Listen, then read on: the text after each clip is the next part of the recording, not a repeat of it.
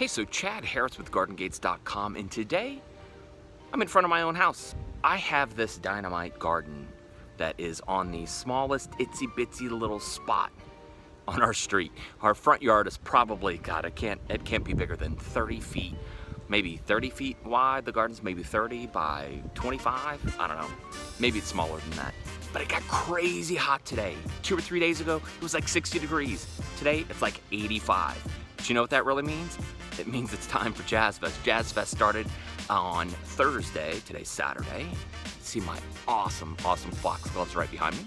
But you know, I got a sidewalk that runs through the middle and our, the homes here in uptown New Orleans are really close together. So if you haven't been to New Orleans, it is a great place to come to. Streetcar track is right down the street, so you can hear my wind chimes in the back. So what makes New Orleans such a great place? It's a great place to live, it's a great place to work, and it's awesome for gardening. If you ever get a chance, you need to come, drive around, walk the neighborhoods, and see these lush gardens on the smallest little spaces. And so in mine, I'm gonna give you a quick little tour. I'm gonna show you what I have. And again, I got a few plants that need to be replaced and we're gonna talk about those in a second.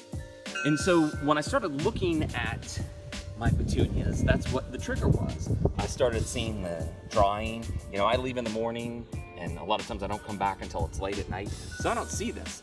And so when I started looking around today, I was like, hey, I really need to do some work. So the first thing I did was I readjusted my sprinkler system. I'm gonna get that under control. And then once either these recover a little bit or once um, we go ahead and remove these, we're gonna plant something new. And I might have to wait a few weeks before this transition because one, this stuff looks awesome. And also, I need it to get hot. You know, in New Orleans and as well as many other parts of the country, especially in the southeast, southeastern neck of the woods, I should say, uh, you don't want to plant before the ground temperature is warm enough. You introduce, you know, funguses and all kinds of things. And you really need the plants to not stretch, like all these are stretched out. The reason why they're stretched out is because, you know, one, they froze all the way back this year. Um, they didn't die because it only froze for, we only had freezing temperatures for about a day or two. And then, ooh, look, I have a little lizard friend hanging out in there today. And then what happened was that we had a really warm winter. And so that's why they look just horrible. And they do, they look horrible. You know? I mean, when you consider that these petunias you know, it's a wave petunia, but still, it's planted exactly at the same time. So those are waves, and these are dreams. And so they just haven't done really well. So we're gonna pull these out. We'll probably come back in and plant this whole area.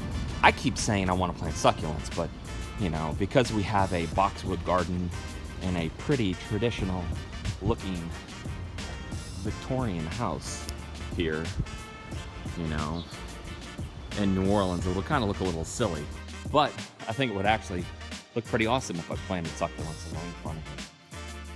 So then the other thing that I noticed was that my snapdragons, that was the key indicator right here. Actually, this is the first thing that I looked at and noticed that they were really dry. Check the sprinkler system. But what's odd is my geraniums are doing really well. So sometimes right plant, right place. And I will tell you that these snapdragons, it's not really the right place. My wife was having guests come in town and uh, we filled everything we could with white.